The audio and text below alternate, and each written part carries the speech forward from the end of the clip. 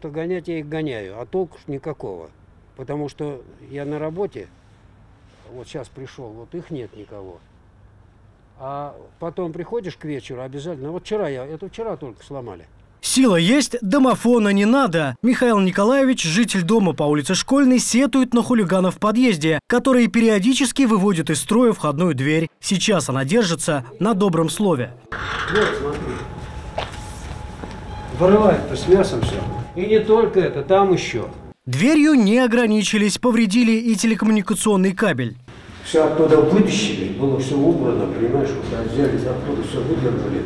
Председатель Совета дома Людмила Харченко рассказывает, что такой вандализм в их доме случался и даже совсем недавно. Здесь живут неадекватные люди, которые плевать на все, как говорится, правила жизни.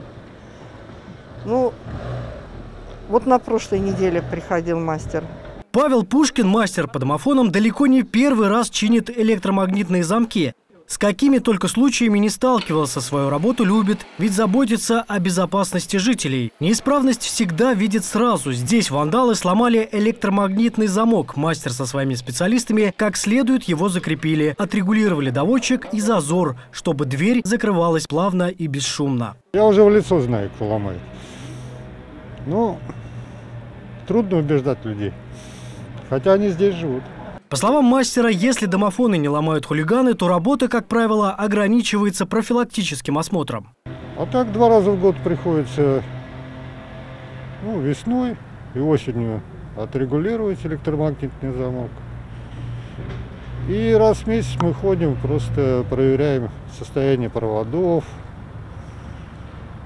э, состояние трубок, как работают ключи, работают ли они вообще и внешний вид. В этот раз работу мастеров принимает жительница подъезда Галина Агешкина. Скажите, работает? Работает, работает. В подъезде дверь заработала, однако женщина пожаловалась, что в ее квартире сломалась домофонная трубка. Мастеров, правда, еще не вызывала. Рабочие предложили решить проблему на месте. Как оказалось, в квартире установлена трубка образца 80-х годов. Но даже такой раритет мастерам удалось вернуть к жизни. Вот, пожалуйста. Вот, пожалуйста. Работает? Ага. Все, убегаем. Ой, не слава богу. Ребята, спасибо вам большое. Красота какая. Ой, как хорошо. Все работы выполнены, но вот как скоро возьмутся вандалы за старое, неизвестно. Проблему решить раз и навсегда позволит установка видеокамер в подъезде, говорят мастера. Это специалистам также по плечу, только с разрешения большинства жильцов. Рабочие уходят, но ненадолго. Председатель Совета дома пообещала, что проведет общее собрание собственников квартир, где обсудят новый уровень безопасности в подъезде. Александр Сергеев, Николай Забродин, Новости Химки ТВ.